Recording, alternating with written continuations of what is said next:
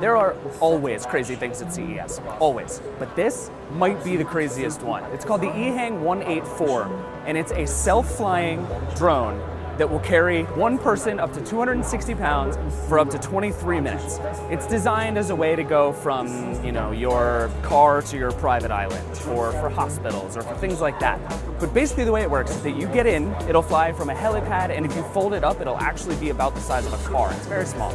You get in, you use Google Maps to pick where you want to go, and then it just picks up and flies you where you're going and then sets you down. It's all designed to be automatic, but they have teams of people who will actually be watching as you go, and they'll make sure that if something goes wrong, that you still get there, because self-flying drones are a terrifying idea right now.